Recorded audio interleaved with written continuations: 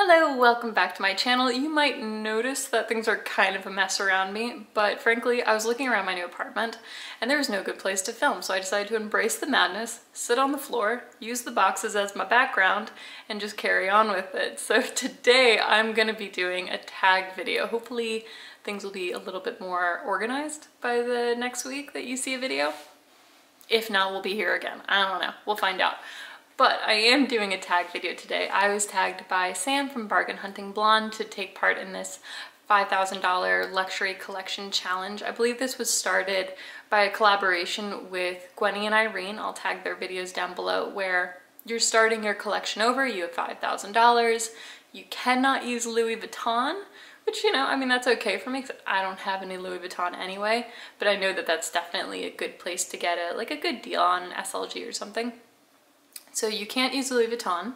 And I mean, really with 5K, I mean, can you even go to Chanel? I, I mean, like to do a nice like starter collection, yeah, you could. And I think that's one of the interesting things about this tag is like, would you just put it all towards one big bag or get a bunch of different things? I went with a bunch of different things. I was asking Sam about the rules of this and we agreed that you can get things on sale if you can currently buy it on sale as and that is the price that you could go there and buy it right now. Fortunately, I was able to find one of my favorite bags on sale. So, to get started. I have changed my mind on these things so many times, so I do have my computer in front of me on a box. So, let's see, how many things did I end up finding? One, two, three, four, five, six. I found six items that I would want to start my collection with. This would be a really nice base. I would buy all of these things and it kind of turned into a little bit of a wish list when I was doing the deep dive, trying to like get as much out of this 5K as possible. And I did want to have a really well-rounded collection from a bunch of different brands and I wanted to go for brands that I already like. Like so for example, I don't have anything from YSL and Gucci. It's not that I dislike these brands and there are definitely a few things from them that I like and would consider getting, but they've never, I mean, I haven't been motivated to yet. So I kind of wanted to be, you know, true to my collection in that way. So to begin, the first thing that I picked out is the Ferragamo box bag in the size medium. You might know that I have a green one. It's a large size. I did manage to get that one at 40% off, but right now you can buy the black box bag in a size medium from the Ferragamo store for $1,541. I love this bag. I think my only regret with my current purchase is that Nordstrom was advertising it as the medium size. They had they had it incorrectly labeled, incorrect measurements. When I got it, it was very clearly the large, and I took it to the Ferragamo store to compare, and it was obviously the large one. But I decided to keep it because it was such an unusual color. I think the medium is a much better size. Absolutely, unless you carry, I mean, just a ton of stuff. I, I love my large. Don't get me wrong, I don't want to trash that bag too much and I really need to do a review for it, but it does become a black pit so quickly. And if I had to choose, I would go for the medium. So that is the very first bag on my list. Continuing with my $5,000 collection, I decided to go with the Fendi Mon Tresor bag. This bag currently retails for $1,350. I decided to go with the little pink one because I think that would be really cute and it would kind of do what my Cream Extra does for me right now. I am not usually that into bucket bags, but I feel like that the little ones are a little bit easier because you can wear it crossbody. It's not too bulky. The thing I don't like about bucket bags is how I normally, I do really like top handle bags or crossbody bags. The Mon Tresor, because it's so cute and petite, but it can still fit a phone in there easily. It's like so cute. It has a little top handle, so you can take the strap off. They're both detachable, and you can still wear it crossbody because like it, it's small enough that it still sits close to you.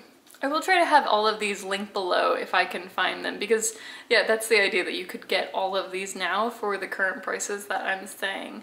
So up next, I'm gonna go with the Loewe, it's a basket bag. The exact name is Small Square Basket Bag in raffia and calfskin.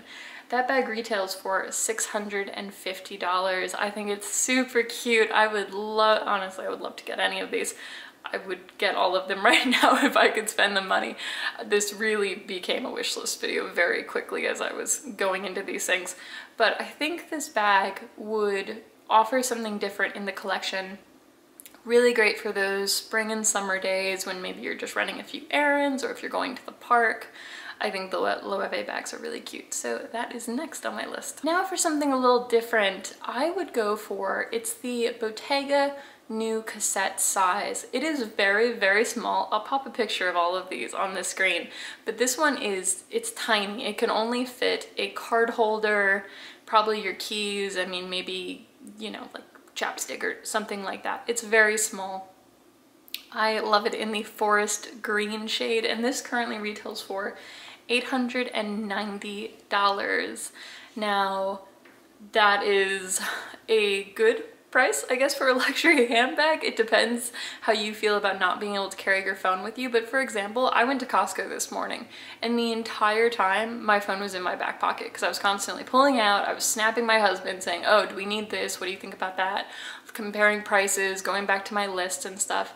So I could have easily had this bag with me, no problem. I was actually carrying my really small um, it's the Dior Addict bag, which you really can't, I mean, you can fit a phone in that bag, but you can't fit much else. And I didn't even bother putting my phone in it. So I could have easily had this bag with my card holder, my Costco card, my little paper list that I sometimes have, and my keys. I think it's super cute and I, I, would definitely go for this one. And Bottega leather is amazing and it's definitely a really good place. That and Loewe, they're immediately, I immediately, oh, can't talk today. Too excited. I immediately thought of those brands when trying to get like the most for designer items, like with a 5k budget. Now sticking with Bottega to really round out this collection, I would get my Bottega card holder. I have this in the lilac color. I think, well, because you can't get that one anymore, it's sold out. But I would go for this Cinnabar color, or really, they have so many good colors. I'll put a picture up on the screen. It's like this kind of like a cross between like a raspberry and an oxblood. I love this color. I really want something from Bottega in this color, hopefully in the next few months but I would get this card holder immediately for lambskin. It's held up really well. It's like, it seems to be made up of calfskin and lambskin. The weaves, I believe, are always lambskin from Bottega, the woven leather. So, I, I, yeah, I feel like this would be a really good wallet option. I haven't wanted to switch out of my, my card holder since getting it, so that's like a tried and true uh, luxury piece for my last item and I can't believe I have listed so many things. You know what I was thinking about when I was doing this tag? So the new cutesy mini Dior bags just came out and they are so cute. They're so cute. I have never been so tempted by a Lady Dior, but this thing is tiny. And I know I just said, oh, I can be fine without fitting my phone in a bag. However, this bag, oh, the little micro Lady Dior is $3,500. I mean, whereas, yeah, the Bottega one, it can't fit my phone, but it's 890. I feel like there's a huge difference. Also, I feel like the Lady Dior bag is so pretty. I wouldn't be reaching for it with things like, like with denim jeans where I can pop my phone in my back pocket. Whereas like the Bottega one is a lot more casual. Anyway, that is really what I was thinking about when doing this tag. Cause I'm just like, wow, I'm like, I'm finding all of these things to make a really well-rounded collection for $500. And that one bag from Dior is like almost the entire budget. I mean, I mean, we're not even including tax, but like, wow. Anyway, I digress. For the last thing on my list, I would go for a Longchamp tote. I definitely consider this to be a luxury piece. They are about, uh, the one I found was $190.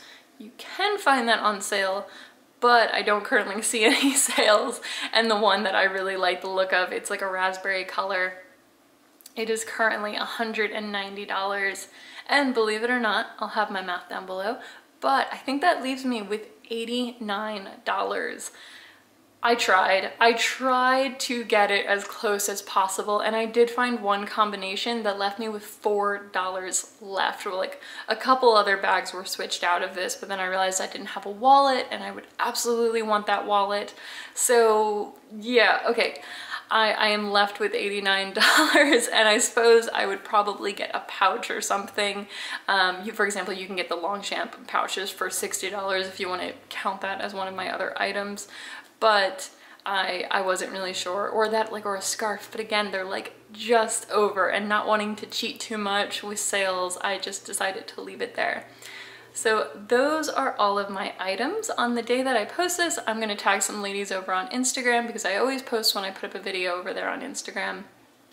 Thank you so much for watching. I would love to know, did I pick what you expect?